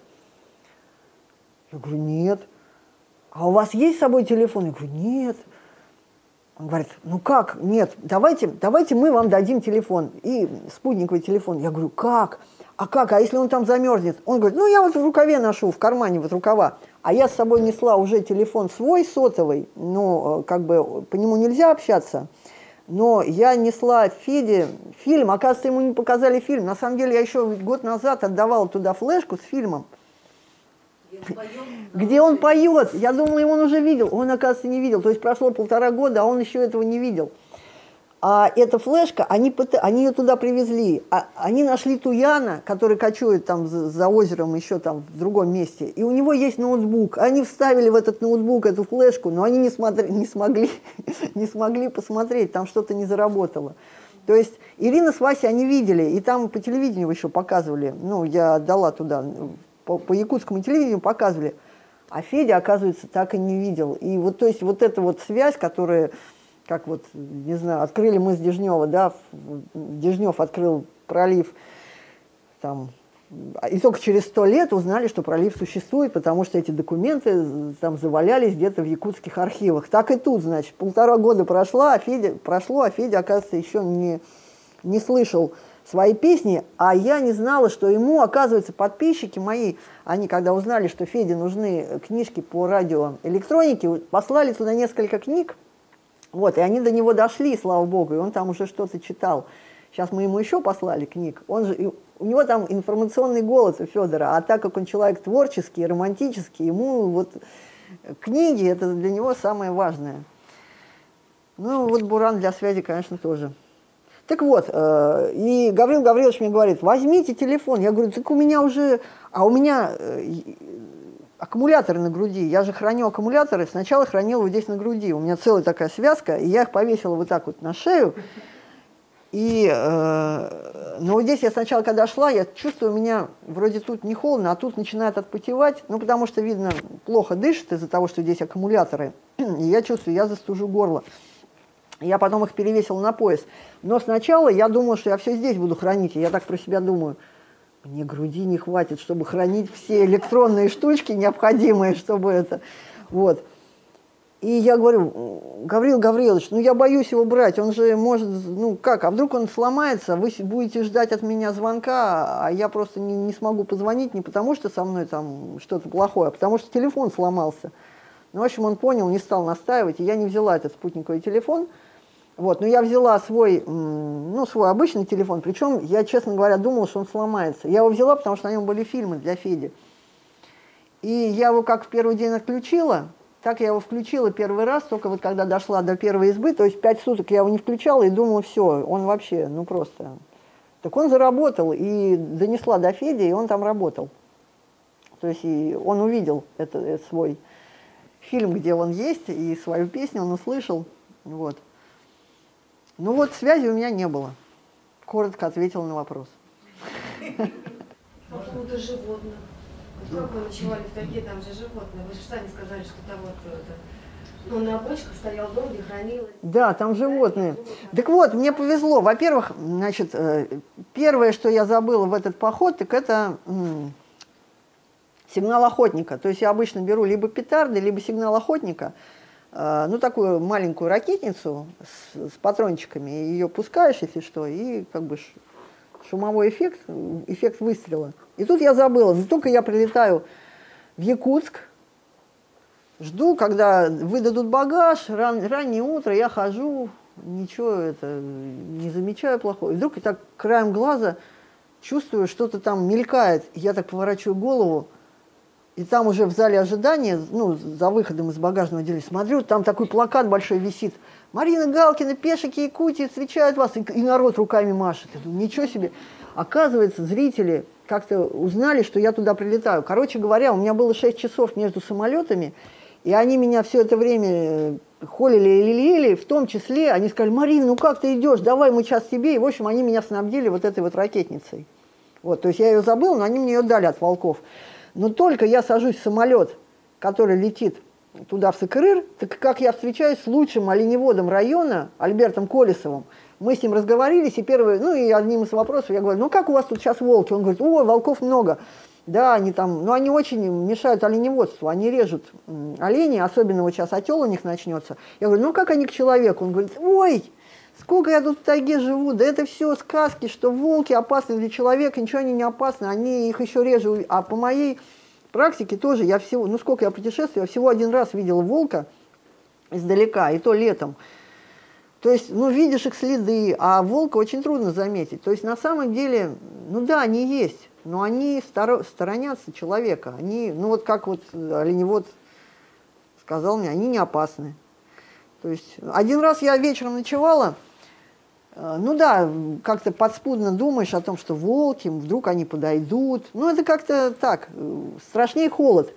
Ну вот я утром просыпаюсь и чувствую, кто-то подошел, и прям это, палатка так колышется – я думаю, ага, что, волки подошли? Потом думаю, какие волки? Наверное, вот тут оленеводы, а, оленеводы подошли проверить. Потом думаю, не, не оленеводы. И понимаю, о, да это же ветер колышет палатку. Ну, так оно и было. Так что, ну да, есть, но медведи в это время спят, а волки, ну вот говорят, не опасные. Если вот абстрагироваться от веса переносимого, все-таки ваш выбор – натуральные материалы или современная синтетика? Ой, я синтетику не люблю. Может, у меня организм такой. Я больше люблю вот все-таки натуральные материалы. Может, не знаю. Нет, флис я использую. Флис нормально. Ну, примолов тут мне нравится. Но шерсть я тоже очень уважаю. То есть вот у меня термобелье все-таки шерстяное. Носки шерстяные. И очень я люблю брезентовые штормовки. Они дышат. И от маленького дождя тоже защищают. А вот какой-нибудь суконный костюм? Вот, суконный костюм я рассматриваю. Вот мне, может быть, сейчас сделают. Мне сейчас подарили суконные рукавицы, там, шапку. То есть шерстяное, да, то, что дышит, то, что легко выдает пар. Потому что, ну, я не знаю, это либо какой-то супер-супер качественный мембран. Ну, не знаю, все мембраны, которые у меня были, я мембраны использую на мультигонках. Вот это да, там они, мне кажется, оправданы. А для путешествий это же жизнь. А в жизни я не люблю ходить в синтетике, я люблю в ХБ. Ну, в натуральных материалах. Поэтому так вот. А палатка, вот эта вот палатка у вас из чего? А, крыша и борта из э, материала АЗТ. Это старый материал, который еще использовался ну, на полигонах для покрытия военной техники это капрон с пропиткой, тонкий капрон, но очень плотный, с пропиткой такой, которая не пропускает воду. У меня из этого материала моя любимая ходовая летняя палатка. Да, я вот сейчас новую шила. У меня старые запасы просто туристы отдали. Я не знаю, сейчас делают ли такой материал. Он жесткий, он держит ветер. Он не, не сгибается на ветру, не растягивается. И в то же время он немножко дышит но совсем сильный ливень, вот вообще проливной, может быть, он чуть-чуть будет пробивать. Но новое не пробивает, а ну, когда чуть как бы из, изнашивается, да, чуть-чуть пробивают капельки. Но не сильно. Я люблю этот материал. Вот у меня из него э, крыша и борта, а торцы сделаны из капрона такого типа каландрированного, непродуваемого. Я думала, что будет отпотевать, и даже сделала специальный такое окно-клапан, э, такое вентиляционное, но совершенно не нужно было как бы вентилировать помещение, достаточно было воздуха, и Тепло тоже сохранялось какое-то время от печки. Но она у меня без дна, то есть она дышит через землю, можно сказать. Ну, никаких. А, ну да, для печки, конечно, вот эта разделка. Из асбеста у меня разделка. Ну и труба не очень плотно соединялась. Ну, щель там небольшая. Ну, на самом деле, там через, через входное отверстие меня на молнии можно проветрить. Чтобы печка, труба не падала, я делала треногу или, ну, или из двух жердей подставку и прикрепляла просто проволокой, при, приматывала трубу к э, жердям, чтобы если даже ветер, если я там трясу палатку, чтобы труба, не дай бог, не, не упала, не было пожара. А это вот настоящие оленеводы шестой бригады. Мне удалось вот у них погостить три дня. Да, еще меня там девчонки катали на олене, У них же до сих пор сохранилось ездовое оленеводство, то есть они на оленях э, реально ездят верхом и пасут оленей, то есть проверяют стадо, и ездят на упряжке на олени. И э, взрослым там помогают дети, когда могут, когда у них каникулы, ну или там, когда учебы нету, они приезжают в бригады. Вот эта ближайшая бригада была в 60 километрах от поселка, мы туда приехали на снегоходе тоже – и вот девочки надели вот э, реально шубы самодельные, традиционная национальная одежда, они в них ходят, пасут оленей. Я у них спросила, что вам больше нравится. Они говорят, больше нравится оленей гонять. А это на меня надели традиционную тоже одежду а, из равдуги, из выделанной кожи шкуры оленя, то есть э, с нее снимается ворс, Просто кожа получается. Ну, как, в принципе, вот эта сумочка просто. Такая длинная одежда, как пальто, глухая спереди, не продувается. А, пыталась я залезть на оленя, это очень сложно. Если на лошадь можно в стреме, в стреме и потом в седло легко, то э, на э, оленем седле нету стремян. И туда надо просто задрать ногу и, и заскочить. И это нужно очень сильную растяжку иметь. У меня такой не было. То есть я смогла залезть на оленя, только встав на сани. И залезаешь на оленя, тебе еще дается шест, и ты одним шестом держишься, как бы балансируешь, опираешься о землю, и двумя ногами держишься за седло оленное. И это очень сложно с непривычки. А они оленеводы этому с детства учатся, и для них езда на олене это совершенно такое обычное дело. И они, как они хохотали, когда я залезала на этого оленя. Ну, то есть для них это же тоже развлечение. Я к ним в гости приехала, они меня катают, я им что-то рассказываю. Вот такие там горы совсем недалеко от поселка, вот 60 километров, вот мы приехали в бригаду оленеводческую, и там вот, эта часть стада, так-то у них там стадо где-то примерно 2000 голов, может быть, а здесь, ну, может, там 300-400, часть стада. Вот упряжные олени. Упряжные олени, они в отдельном стаде, они не, их не смешивают с основным стадом. Каждое утро их ловят, в отдельный загон загоняют. И вот каждый день ими пользуются, как, как на машине на них ездят. Но бураны у оленеводов тоже есть, там сложно без, без буранов. Все-таки стадо далеко уходит. Интересно было узнать про спортивную часть вашей жизни. А, спортивная часть моей жизни э, сейчас очень резко сократилась. А так, в течение 10 лет последних я плотно занималась рогейном. Это спортивное ориентирование, суточное ориентирование.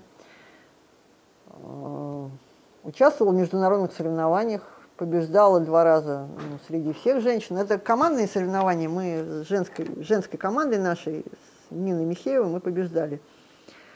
А, тренировалась очень плотно, практически каждый день бегала. У меня там дистанция 7,5 километров по парку. Сейчас так и не бегаю, гораздо реже. У меня просто проблемы с коленями сейчас уже с возрастом, старые травмы. Но вот после путешествий после такой нагрузки равномерной на обе ноги, когда несешь тяжелый рюкзак, то колени у меня как-то лучше начинают работать. А, последний раз мы с Ниной участвовали в соревнованиях э, в, в Испании, проходили соревнования, чемпионат Европы. Это было, это было не, не этим летом, ну, когда пандемия была, а предыдущим летом. Мы там заняли третье место среди всех и первое место среди ветеранов, то есть женщин старше 40 лет.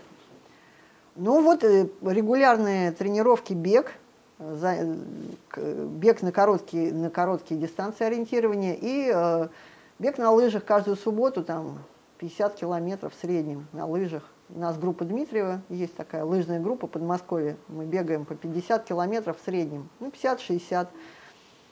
А я еще по средам бегаю по спортивной трассе в Бице на лыжах.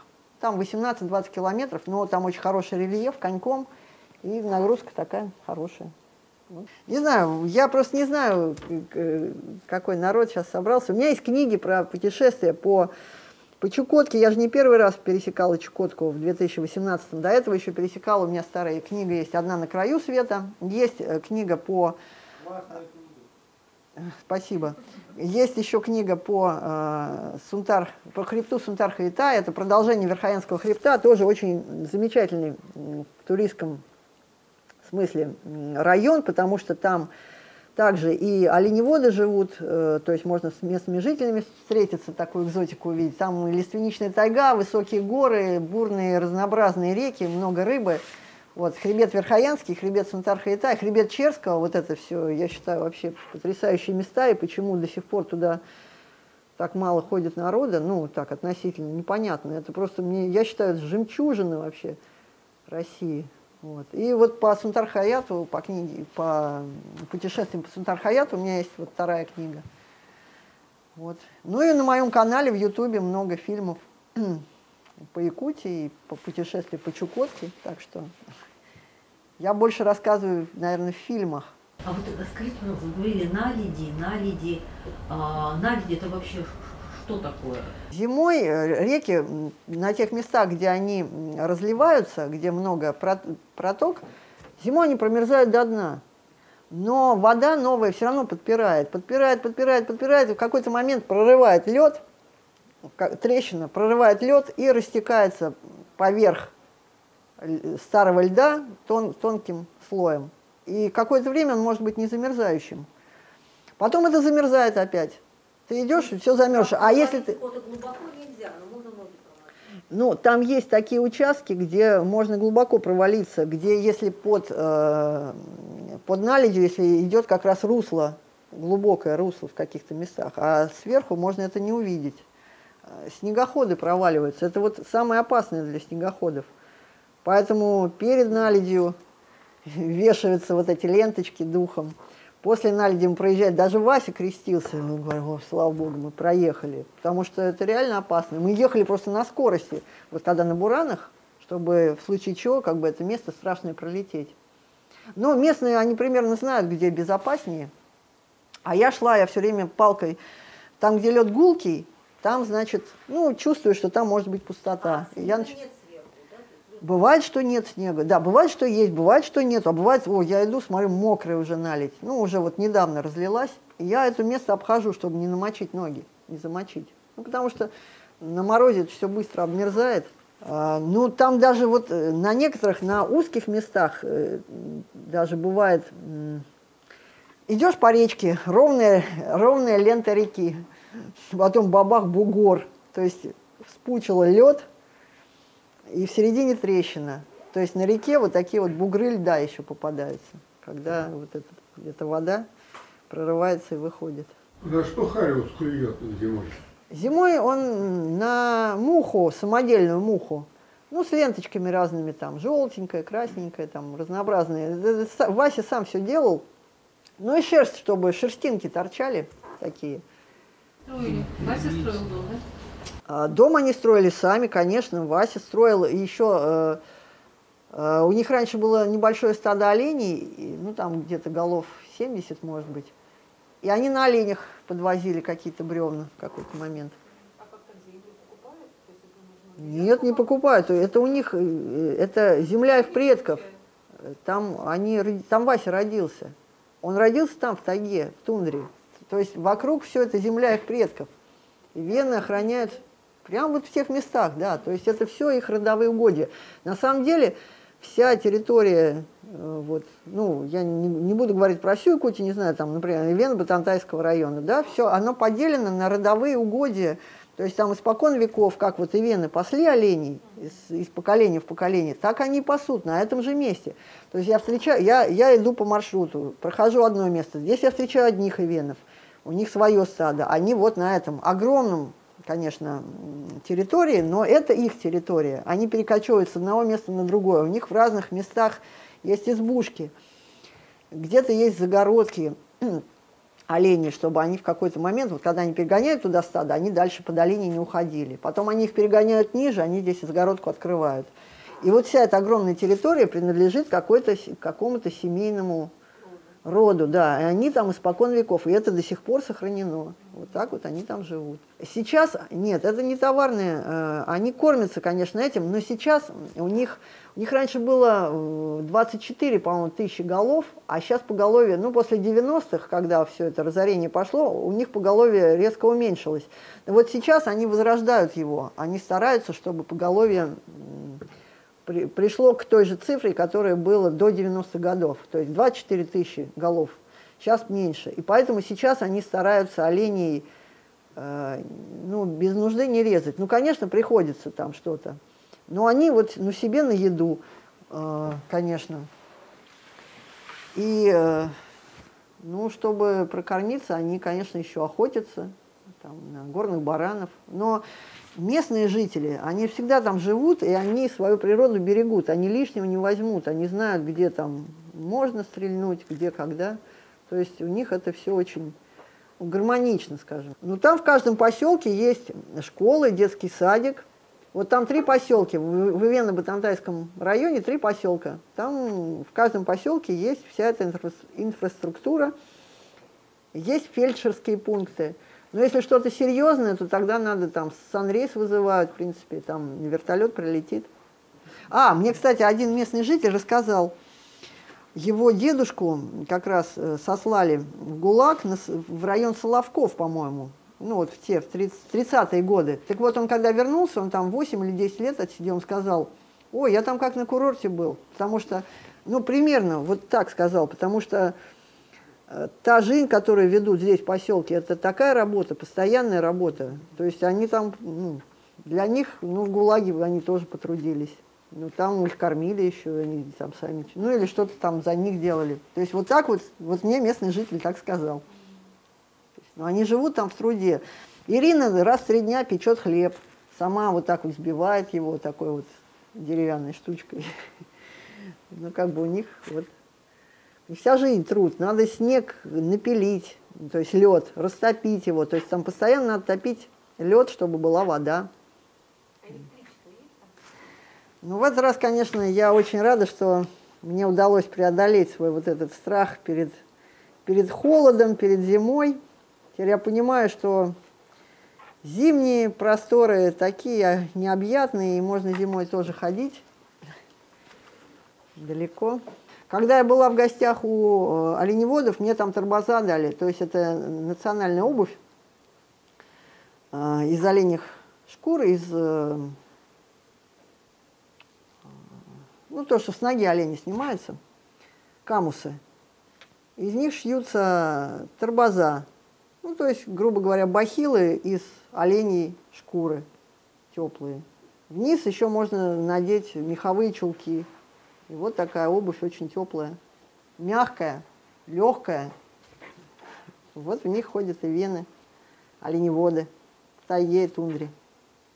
В городе там ходят, ну, не в поселке, вон так ходят.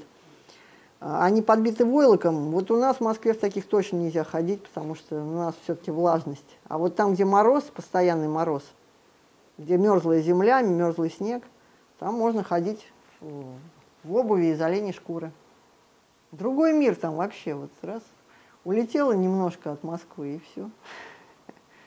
А скажите, пожалуйста, суточный рацион, с чего завтракали, чем Я с, беру с собой на утро быстро разваривающуюся кашу, 5 злаков, 5-4 злака, или геркулес, которые, ну там, 2-3 минуты. На ужин я брала гречку, а в избе меня ждал рис. То есть была гречка или рис, который я варила на печке. И в, в утреннюю кашу, и в вечернюю кашу я добавляла пимикан, то есть мясо сушеное, залитое жиром, сви, свиным жиром. Это мне помогал мой друг, охотник Михаил Михайлович. Он здесь. Михаил Михайлович, встань, покажись. Вот, Михаил Михайлович, у него есть охотничья собака. Михаил Михайлович ходит на охоту, и сын у него охотник. Они добывают иногда лося. Из этого лося э, режется на куски постное мясо. Мелкие кусочки сушатся в духовке. Вот эти кусочки потом заливаются вытопленным жиром э, Свиным можно заливать. Можно говядину, в принципе, так сушить, не обязательно лосятину. Можно говядину, заливается жиром и раскладывается в... э, можно... В этот раз я просто в пакет из-под сока налила. Ну, просто такой пакет плотный, фольгированный.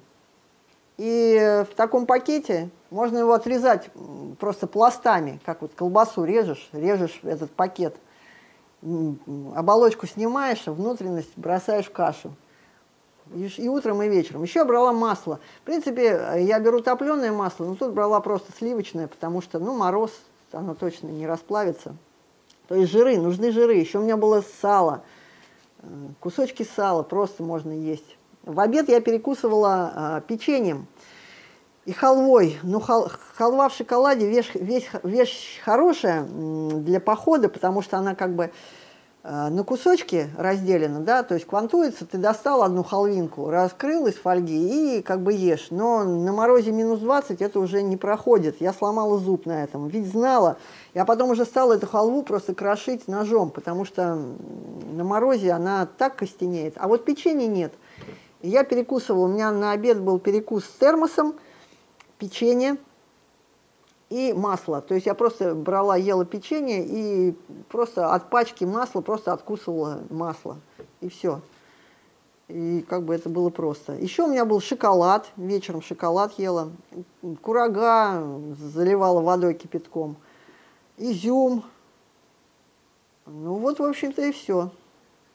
А, сухари еще были, да, сухари размачивала. Сладкие сухари. Но на первое время мне вот э, местные жители угостили оладушками самодельными, печенкой, красную рыбу дали, сырое мясо, ну такое кусочками порезанное уже, чтобы его можно было есть. Оленина очень хорошо, легко усваиваемый продукт, ее можно есть сырую. И на самом деле я там научилась, я думала сначала, вот мне там оставят мясо, как его долго надо готовить. Ничего подобного, это не наша говядина там. Берется мясо, главное его разморозить. Вот я в избе рас- растопила печку, по- подвесила в котелке над печкой просто куски мяса, большие куски мяса. Они стали мягкими, я их заливаю водой.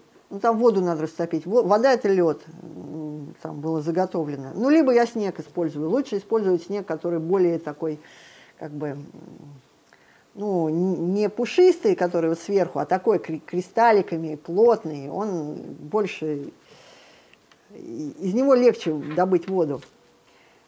И вот это мясо варится буквально 5 минут. Вот оно кипит 5 минут, его протыкаешь, оно мягкое, там внутри кровь. То есть оно наполовину сырое, ну как, оно все равно уже горячее, там кровь. Ну ничего, и вот с этой крови прямо это естся. Очень, а- оленина очень легко усваивается. То есть можно есть сырое мясо, можно есть полусырое, вот вареное. Оно горячее, его главное не переварить. Вот такое мясо ела. Нет, ну это особенности вообще любого мяса. Ну просто э, как бы оленину, ту, которую, олень, который пасется на диких э, пастбищах, его можно так есть. Я не знаю, нашу говядину, которую там колят антибиотиками, можно так есть или нет. Я сырую говядину дома не ем. А оленину буду есть, которая там пасется.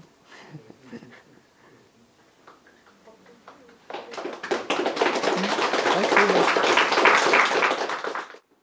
вот у меня две книги есть, которые... У меня есть книга, вот «Вдвоем по Сутархаяту» и а, «Одна на краю света». Это, это по Чукотке и Камчатке, самое первое мое путешествие. А вот это «Вдвоем по Сутархаяту» это по... Да, есть. Это по 500 рублей я...